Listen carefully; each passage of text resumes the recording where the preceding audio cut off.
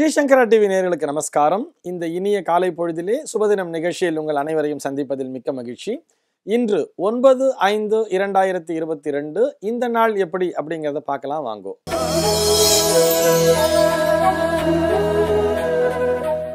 இன்றைய தினம் சுபகிருத்து வருடம் சித்திரை மாதம் இருபத்தி ஆறாம் தேதி திங்கட்கிழமை திதி வளர்பிறை அஷ்டமி திதி மாலை மூன்று மணி இருபத்தி ஏழு நிமிஷம் வரைக்கும் இருக்கு. அதனை தொடர்ந்து நவமி திதிங்கிறது இன்னைக்கு வந்துடுறது. நட்சத்திரம் பார்த்தீங்கன்னா இன்னைக்கு ஆயில்ய நட்சத்திரம் பகல் ரெண்டு பத்தொம்போது வரைக்கும் இருக்கு.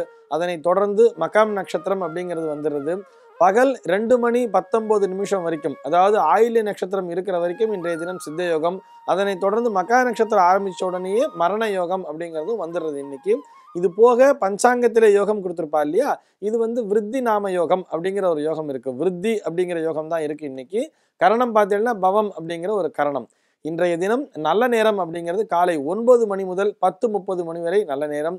மாலை மூன்று மணி முதல் நான்கு மணி வரை கூட நல்ல நேரம் தான். இந்த நேரத்திலே நாம் என்ன செய்யணும்னு நினைக்கிறோமோ அந்த முக்கியமான ஒரு நல்ல விஷயங்களை எல்லாம் செய்ய துவங்கலாம் அப்படிங்கிறதான் சொல்றேன்.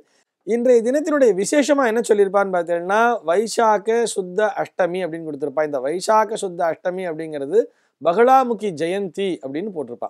பகுலாமுகி அப்படின்னு சொன்னால் இது என்னடா ஏதோ கேள்விப்படாத பேராக இருக்கே அப்படின்னு நம்ம எல்லாருக்கும் தோணும். பகலாமுகி அப்படிங்கிறது அம்பாளினுடைய மற்றொரு வடிவம். தசமகா வித்யா அப்படின்னு சொல்லுவா. இந்த ஸ்ரீவித்யா உபாசனையில இருக்கக்கூடியவாளுக்கு நன்னாவே தெரியும். பகலாமுகி ஜெயந்தி. பகலாமுகிங்கிறது வந்து ரொம்ப ரொம்ப ஒரு பவர்ஃபுல்லான ஒரு அம்பாள். இந்த பகலாமுகியினுடைய மந்திரத்தை எதற்கு ஒப்பாக சொல்வார்கள் என்றால் பிரம்மாஸ்திரத்திற்கு ஒப்பாக சொல்வார்கள். ஒருவரை கட்டுப்படுத்த வேண்டும். ஒரு யாராலையுமே அவரை கண்ட்ரோல் பண்ணவே முடியல. ரொம்ப பேசிகிட்டே இருக்கார். இல்லை அவரால் எல்லாருக்கும் பிரச்சனை வந்துட்டு இருக்கு அப்படின்னு சொல்லும் பொழுது அவரை கட்டுக்குள் கொண்டு வர வேண்டும் என்று சொன்னால் இந்த பிரம்மாஸ்திரத்தை பிரயோகிப்பார்கள் அல்லவா? அந்த மாதிரி அந்த பிரம்மாஸ்திரத்திற்கு ஒப்பான அந்த மந்திரத்தை உடையவள் இந்த பகுலாமுகி அப்படிங்கிறவர். இந்த பகுலாமுகி உபாசனையில் இருக்கிறவா தான் இந்த கட்டுறதுன்னு சொல்லுவா. நிறைய திரைப்படங்களில் கூட அது வந்து ஒரு காமெடியாக கூட கொண்டு வந்திருப்பா. நாங்கள் கையை ஐம்பது ரூபா கொடுத்தா கட்டி விடுவோம் நூறுரூபா கொடுத்தா கட்டா எடுத்து விடுவோம் அப்படின்னு சொல்லி இது அத்தனையுமே இந்த பகலாமுகியினுடைய உபாசனையில் அடிப்படையில் வந்தது தான் ஆக இந்த பகலாமுகி ஜெயந்தி அன்று நாம் அனைவரும் ஆலயத்திற்கு சென்று அம்பாளை வழிபடுவது என்பது ரொம்ப ரொம்ப நல்லது. நமக்கு வேற அம்பாள் நமக்கு தெரியலனா கூட துர்கையை கூட போய் வழிபடலாம் நீங்க. அம்பிகையை வழிபடுவதற்கு ஒரு உகந்த நாளாகவே அமைந்திருக்கிறது அப்படிங்கிறதையும் சொல்லிக்கிறோம். இன்றைய தினத்தினுடைய ஜோதிட தகவலாக நான் என்ன சொல்லணும் அப்படின்னு நினைக்கிறேன்னா உறங்கி எழுந்தவுடன் பார்க்க வேண்டியவை அதாவது தூக்கத்திலிருந்து எழுந்த உடனேயே என்னென்ன பார்க்கணும் அப்படின்னு சொல்லி பஞ்சாங்கத்திலையும் சரி நம்மளுடைய பெரியவாளும் சொல்லியிருப்பா அது என்னங்கிறதையும் பார்க்கலாம் வாங்கும் உறங்கி எழுந்தவுடன் பார்க்க வேண்டியவை அப்படின்னு சொல்லி பஞ்சாங்கத்தில் என்னென்ன கொடுத்துருக்காள்னு பார்த்தேன்னா தாமரை புஷ்பம் பொன் தீபம் கண்ணாடி சூரியன் தணல் அப்படின்னு சொல்கிற அக்னின்னு சொல்கிறோம் இல்லையா? அந்த தணல் சந்தனம் சிவலிங்கம் கோபுரம் மேகம் சூழ்ந்த மலை கன்றுடன் கூடிய பசு தனது வலது கை மனைவியினுடைய முகம் மிருதங்கம் கருங்குரங்கு. இவை அத்தனையுமே தூங்கி எழுந்தவுடன் பார்க்க வேண்டியவை அப்படின்னு சொல்கிறார் அத்தனையும் பார்க்கணுங்கிறதுல இது ஏதாவது ஒன்றை பார்த்தாலே போரும் எதுவுமே இல்லை நான் எதை பார்க்கறது அப்படின்னு சொன்னால் தன்னுடைய வலது கையை பார்த்தாலே போரும்னு பஞ்சாங்கம் சொல்கிறது நம்முடைய வலது கையிலேயே மகாலட்சுமிங்கிறது வாசம் பண்ணுறா ஆக உறங்கி எழுந்தவுடன் இதை பார்க்கலாம் அப்படின்னு சொல்கிறது இது போக பார்த்தேன்னா தாமரை புஷ்பம் அப்படின்னு சொல்லியிருப்பா. தணல் அப்படின்னு சொல்லியிருப்பா. அக்னின்னு சொல்லியிருப்பா. சூரியன் அப்படின்னு சொல்றா. இவைய அனைத்திற்கும் ஒன்றோடு ஒன்று தொடர்பு இருப்பதையும் நாம் பார்க்க முடியும். தீபம்னு சொல்றா கண்ணாடின்னு சொல்றா.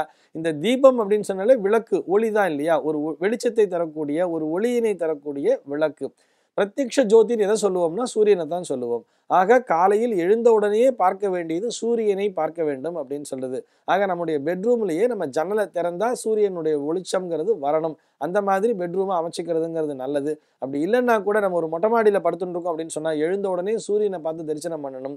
அல்லது பக்கத்திலேயே கோவில் இருந்ததுன்னா அந்த கோபுர தரிசனத்தை பண்ணலாம் அப்படின்னு சொல்கிறது இது போக தன்னுடைய மனைவியினுடைய முகத்தை பார்ப்பது. என்னதான் நம்ம வந்து ஆத்துக்காரி கூட எவ்வளோ சண்டை இருந்தாலும் சரி எவ்வளவோ நம்ம வந்து ஒரு கருத்து வேறுபாடு கொண்டிருந்தாலும் சரி தன்னுடைய மனைவி ஒவ்வொருவருக்குமே அவரவருடைய மனைவி என்பவள் மகாலட்சுமி தான் அப்படிங்கிறது சாஸ்திரம் அடிச்சு சொல்றது. ஆக மனைவியினுடைய முகத்தை பார்ப்பதும் நல்லது. நான் முதலே ஒரு விஷயம் சொன்னேன். தாமரை புஷ்பம் வெளிச்சம் கண்ணாடி இந்த தீபம் சூரியன் இவை அனைத்திற்கும் தொடர்பு எதன் மூலியமாக வருகிறதுன்னு சொன்னா இந்த சூரியன்கிற கிரகத்தை வச்சுத்தான் ஆக சூரியனாலத்தான் இந்த உலகமே வாழ்ந்து கொண்டிருக்கின்றது. கண்ணுக்கு தெரிந்த கடவுள் சூரியன் அப்படிங்கிறதுல எந்த மாற்று கருத்துமே இல்லை. உறங்கி எழுந்தவுடன் பார்க்க தகுந்தவையில் இந்த சூரியனை பிரதானமாக சொல்லியிருக்கா. இந்த சூரியனை எப்போ பார்க்கணும்னு சொன்னால் காலையில் அந்த சூரிய உதயம் ஆறுது இல்லையா? அந்த சூரிய உதயமாய் அதிகபட்சமாக ஒரு அரை மணி நேரத்துக்குள்ளேயே பார்த்துடணும். அப்போ நம்ம எத்தனை மணிக்கு எழுந்துக்கணுங்கிறத நீங்களே தீர்மானம் பண்ணுங்க. சீக்கிரமாக எழுந்துடணும். நான் குறிப்பாக சொல்கிறது இந்த குழந்தைகளுக்காக. நான் ராத்திரி பன்னெண்டரை மணி வரைக்கும் படித்தேன். நான் ராத்திரி ஒன்றரை மணி வரைக்கும் படித்தேன்னு சொல்லிட்டு காத்தால எட்டரை மணி வரைக்கும் ஒம்பது மணி வரைக்கும் தூங்கக்கூடாது அவ்வாறு உறங்குவதால் எந்த பலனும் கிடைக்காது. நீங்கள் ராத்திரி ஒன்றரை மணி வரைக்கும் படித்தாலும் சரி ரெண்டு மணி வரைக்கும் படித்தாலும் சரி காலையில் ஆறரை மணிக்குள்ளே எழுந்துட்டு சூரிய நமஸ்காரத்தை பண்ணால் மட்டும்தான் நீங்கள் படித்த விஷயங்கள் அப்படிங்கிறது உங்களுக்கு மெமரிக்குள்ளே இருக்கும். ஏன்னா ஏன் இதை நான் இந்த நேரத்தில் இன்சிஸ்ட் பண்ணி சொல்கிறேன்னா எக்ஸாமினேஷன் டைம்ங்கிறது வந்தாச்சு. எல்லாருக்குமே ஆனுவல் எக்ஸாம் ஏன்னா இது மே மாதமாக இருந்தாலும் கூட இந்த வருடம் குரான் கொரோனாவின் காரணமாக எக்ஸாம்லாம் தள்ளி போயிருக்கு. எக்ஸாமுக்கு ரொம்ப சீரியஸாக சின்சியராக படிச்சுட்டு இருப்பேள் காலேஜ் பசங்க கூட வந்து செமஸ்டருக்காக படிச்சுட்டு இருக்கேள் நீங்கள் எல்லாரையும் இதை ஞாபகத்துக்கு வச்சுக்கணுங்கிறதுக்காக சொல்கிறேன் அதிகாலையில் எழுவது என்பது நல்லது. இந்த உறங்கி எழுந்தவுடன் பார்க்க தகுந்தவைன்னு சொல்லியிருக்கோம் இல்லையா? இது வந்து இரவினில் தூங்கி காலையில் எழுந்திருக்கு மட்டும்தானே தவிர நான் பகல் நேரத்தில் தூங்கிட்டு மத்தியானம் எழுந்துச்சு பார்க்கும்போது அப்படிங்கிறதுக்கெல்லாம் கிடையவே கிடையாது. நான் பகலில் தூங்குறேன் ஒரு பத்து மணிக்கு தூங்கிட்டு மத்தியானம் ஒரு மூணு மணிக்கு எழுந்திருப்பேன். இந்த நேரத்தில் நான் என்ன பார்க்கணும் அப்படிங்கிறதெல்லாம் சாஸ்திரம் சொல்லவே இல்லை. ஏன்னு சொன்னால் பகலில் தூங்கவே படாது அப்படிங்கிறத தான் சாஸ்திரம் வலியுறுத்தி சொல்கிறது. சூரியன் இருக்கின்ற நேரத்திலே நிச்சயமாக உறங்கக்கூடாது என்பதுதான் அறிவியல் பூர்வமான உண்மை அப்படிங்கிறதையும் நீங்கள் தெரிஞ்சுக்கணும்.